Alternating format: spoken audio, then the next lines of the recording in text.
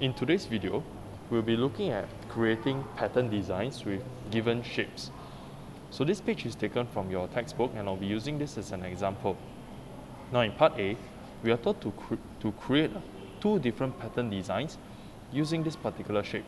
So it is really up to your creativity. We don't have any fixed answers.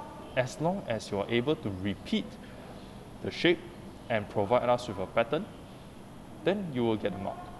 Okay, so in the first solution that they offer you, they are arranging them in such a manner. So you can see that this um, outline shape is actually a reflection. We flip it over, then we combine it with um, other orientations, including flipping it around also. And in the shape that is created over here, we see no gaps. Okay, so this is one possibility that you can have. Now using the same shape over here, you can, also, you can actually create big arrows like this. You can flip them around just as long as they repeat themselves. It is also considered a pattern.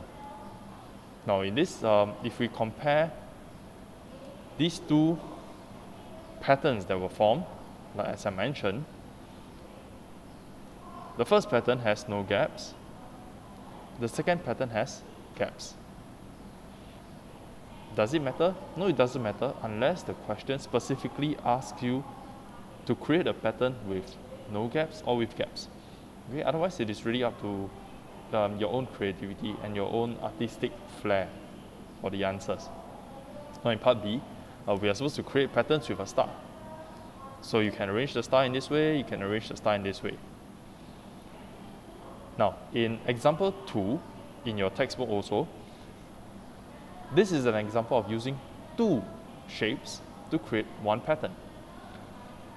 Earlier on, we were only creating patterns using one shape. So here is an example of how we can use two different shapes to create a pattern. So in this case, they are just repeating the shapes over and over again, putting them side by side. As you can see, this is not difficult. So you can try this example yourself at the bottom of the page. Or we can go straight to exercise 6.1. Okay, the entire exercise 6.1, there are many questions, but we'll just go through one of these questions, and that, and that will be sufficient. Okay, so we're going to use this shape to create two pattern designs.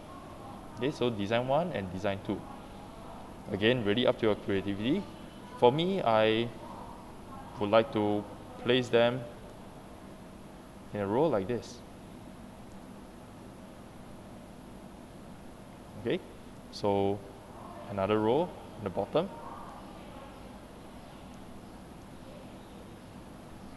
So this is one possible design that you can have. Of course, you can you can draw more if you want to.